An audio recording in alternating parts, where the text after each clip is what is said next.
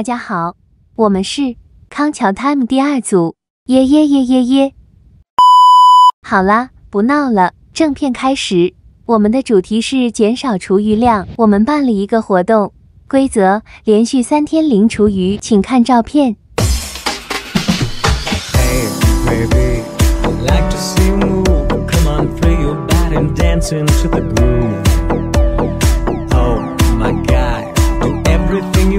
If we'll be together, baby, all night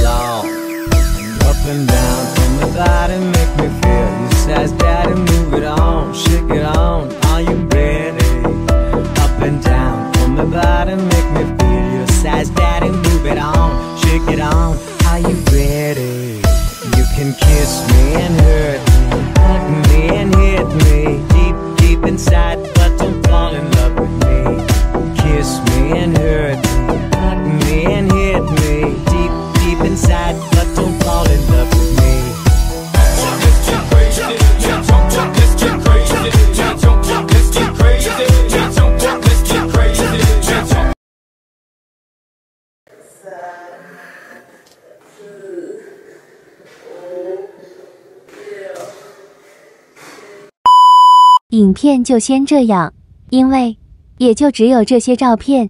呃呵呵嘿。好，让我们进入心得的部分。嗨，大家好，我是林志毅。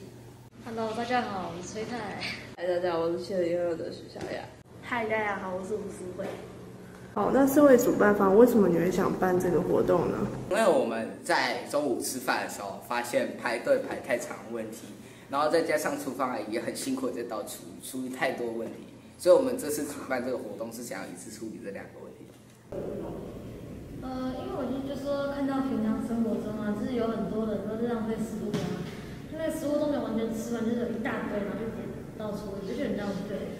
但每次看那个厨余桶，不是有一堆厨余，然后都是没吃完的，所以就很借而办这个活动，就是来训练一下大家，就是能减少能减少三天的厨余量，然后只是改改改掉他们的这个坏习惯。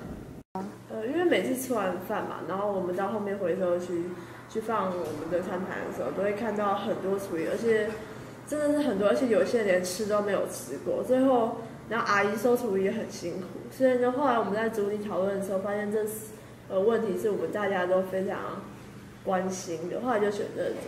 不过在过程中，我们原本是想要从学校的取餐制度开始改变，但后来发现好像行不通，所以最后我们选择由我们自身自己去改变。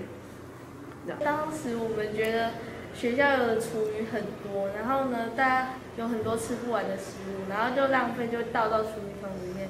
然后我们四个人都觉得这个想法很好，然后我们可以一起改变它，所以就选择这个主题。我们主办方自己也有挑战这个活动，那在过程中你有什么感想或遇到什么困难呢？呃，感想就是，其实把东西吃完是一件很简单的事情啊，就只是有人可能食量比较小，有人可能食量大，不会控制自己要拿的量是多少。嗯，不过这个挑战老实说啦，也取决于那个人是谁，那个人的食量是多少，那一天的餐是什么。所以就这样。呃，我只是觉得我个人是还好啊，因为我本来就吃比较多，只是对某些人来说可能会有一些某些原因啊，像是说怕会胖啊，或是一些挑食的状况会不想吃，然后就是会有点想放弃的心态。虽然最后大部分人都还是成功的啦，但是还是会有一些就是个人的因素会影响这个活动的办的举行。我是觉得还好，因为其实你要离出你很简单，你就是不吃了就不要拿嘛，你拿了干嘛？拿了浪费，所以就拿几样自己喜欢的，就这样就好。所以木是还好，希望大家也可以这样。我觉得有些东西我我不喜欢吃，但是因为为了完成零厨余的活动，但我们还是得吃下去。然后像是黑木耳，我讨厌它，然后就干脆不要拿，就是你要吃多少就拿多少，然后不要吃的话就不要拿。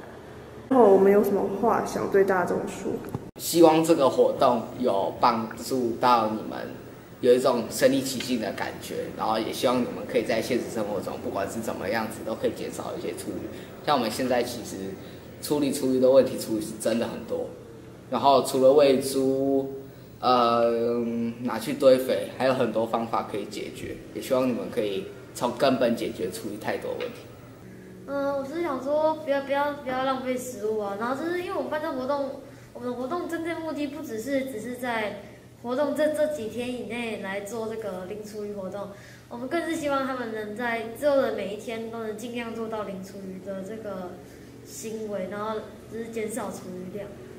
其实在这里我们都很幸福，我们都可以吃到好吃的饭菜。那就是当你来吃饭的时候，你可以想一下那些没有饭吃的小孩们，然后去珍惜，然后惜福你现在所拥有。我觉得珍惜食物很重要。